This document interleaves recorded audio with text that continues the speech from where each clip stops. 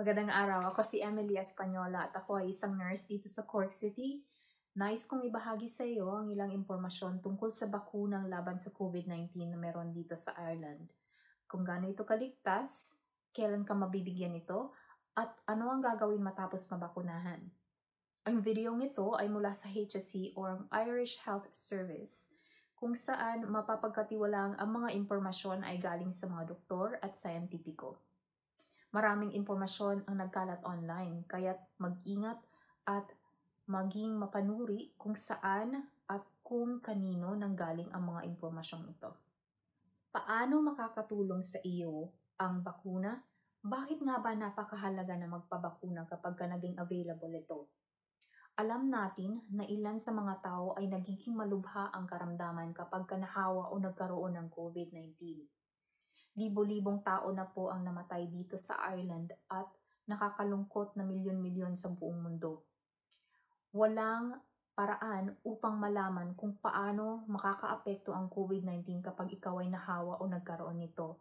Kaya't ang mga bakuna na libre para sa lahat ay malaki ang tulong para makaprotekta laban sa pagkahawa sa COVID-19. Gaano kaligtas ang bakunang COVID-19? Ang mga bakunang ginamit dito sa Ireland ay ligtas. Paano natin ito nalaman? Lahat ng bakuna na ginagamit dito sa Republika ng Ireland ay dapat na aprubahan ng European Medicines Agency. Ito ay ang grupo ng mga doktor at sayantipiko na nag-aapruba lamang ng mga gamot at bakuna na ligtas at epektibo.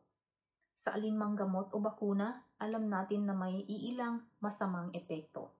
Pagdating sa bakunang pang COVID-19, karamihan dito ay katamtaman lamang. Kabilang dito ang pananakit ng braso kung saan tinirukan ng bakuna, pagkaramdam ng pagod, pananakit ng kalamnan at kasukasuan, pagduduwal, at pagkakaroon ng lagnat. Ang mga nasabing masamang epekto na ito ay kadalasang tumatagal ng isa o dalawang araw habang ang mga mas malala o mas seryosong masamang epekto tulad ng allergy reaction ay madalang. Napaka-importante na sabihin sa taong nagbabakuna sa iyo na ikaw ay buntis o may anumang allergy at huwag mag-alinlangang magtanong kung ikaw ay may nais malaman tungkol sa bakuna.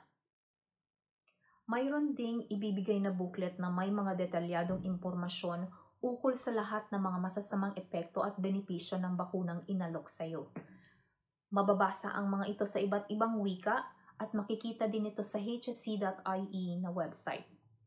Tandaan na milyon-milyong tao na ang nakapagpabakuna at ang mga masasamang epekto ay mahigpit na binabantayan. Sino ang dapat na magpabakuna sa COVID-19? Ang bakuna ay iaalok muna sa mga taong may edad na 65 o mas matanda pa, sa mga healthcare worker, at sa mga taong wala pang 65 na may mga medical na kondisyon. Aabisuhan ka ng iyong employer o ng HSC kung nabibilang ka sa grupong ito. Ang mga taong nakatira at nagtatrabaho sa mga matataong lugar ang grupong susunod na babakunahan. Kabilang dito ang mga taong nakatira sa direct provision ang pagkakasunod-sunod ng mga grupong babakunahan ay maaaring mag, magbago, ngunit huwag mag-alala dahil ipapaalam sa iyo ng HSC kung panahon mo nang mabakunahan. Nire-rekomenda na magpabakuna kahit panahawa o nagkaroon ka ng COVID-19. Ito ay para matiyak na may agapang proteksyon upang hindi na madaling mahawa uli. Ano ang mangyayari kapag ka nabakunahan ako? Hindi po kailangan o pwersahan ang pagpapabakuna. Gayunpaman, nirerekomenda na gawin ito. Kung ikaw ay nagpasya na hindi magpabakuna, hindi ito makakaapekto sa iyong legal na sitwasyon dito sa Ireland o sa iyong aplikasyon na manatili sa bansa. Importanteng pakatandaan na may maliit na tsansang hindi ka maprotektahan ng bakuna. Posible pa rin makahawa o mahawa ka ng COVID-19 kahit wala kang nararamdamang sintomas.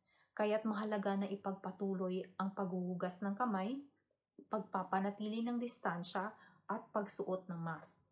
Mahalagang tumawag agad sa doktor kapag may nararamdamang sintomas na maaaring COVID-19. Saan ako makakakuha ng higit pang impormasyon? Para sa mas mapapagkatiwalaang impormasyon tungkol sa COVID-19, maaaring tawagan o kausapin ang GP o ang lokal na parmasyutiko. Bisitahin din ang hsc.ie website para sa mas marami pang impormasyon tungkol sa mga bakunang laban sa COVID-19. Huwag kalimutang ipakalat ang impormasyong ito sa ating mga kababayan at sa mga taong nagsasalita o nakakaintindi ng wikang Filipino o Tagalog. Maraming salamat sa panonood at manatili tayong ligtas.